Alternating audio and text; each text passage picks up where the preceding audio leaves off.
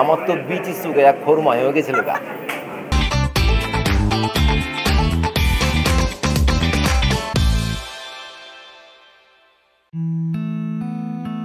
অভিনয় আর দুটো ভাত খাব বলে ঢাকায় এসেছিলাম। এখন পর্যন্ত সে চেষ্টাই করে যাচ্ছি। জীবনে বহুবার চাকরির চেষ্টা করেছি পাঁচ ছয়বার চাকরি বদলেছি।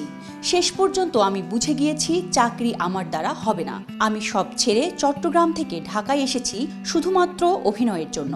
দেশের এক গণমাধ্যমকে ঠিক এ কথাই বলেছিলেন সময়ের অন্যতম চর্চিত ও আলোচিত অভিনেতা নাসির উদ্দিন খান। কি সিনেমা, কি ওয়েব, সব জায়গাতেই তিনি নিজের জাত চিনিয়েছেন।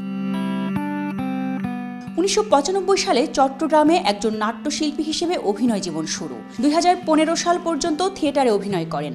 দুই হাজার ষোলো সালে চলচ্চিত্র এবং টেলিভিশনে কাজ করার জন্য ঢাকায় চলে আসেন।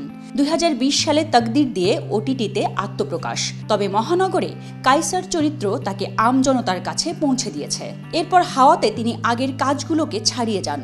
বর্তমানে তরুণ নির্মাতা শঙ্খদাস গুপ্তের পরিচালনায় গুটি ওয়েব ফিল্মে একটি গুরুত্বপূর্ণ চরিত্রে অভিনয় করছেন নাসির উদ্দিন গল্পটা যেটা আমাদের সমাজের বর্তমান সমাজে এবং অনেক আগে থেকে যে সমস্যাটা মাদক সমস্যা, এটা নিয়ে গল্পটা এবং এই মাদককে কেন্দ্র করে আমাদের সমাজের এইসব মানুষদের যে কষ্টকর জীবনযাপন সেটার একটা চিত্র।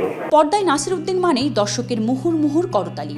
এত এত অভিনেতার ভিড়ে তার অভিনয়কে যে সবাই আলাদাভাবে মূল্যায়ন করেন এটাই বিশেষ কিছু এই অভিনেতার কাছে।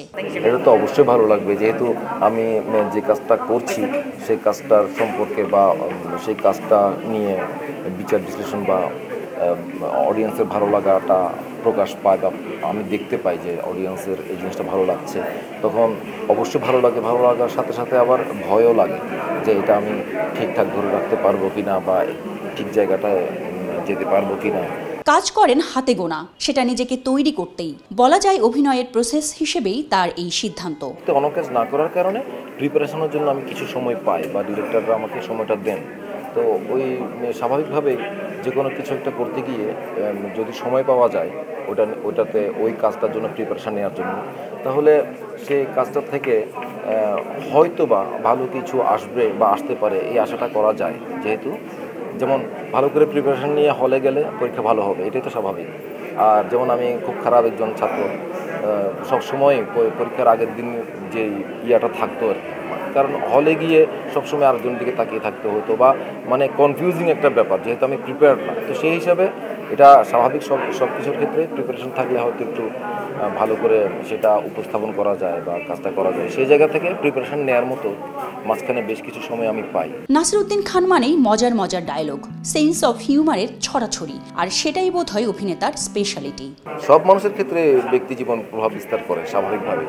তো সেই ক্ষেত্রে হতে পারে আমারটাও হয়তো বা হ্যাঁ মনে হয় একটু এরকমই আমার তো বিচি চুকে এক খরমা হয়ে গেছিল গা।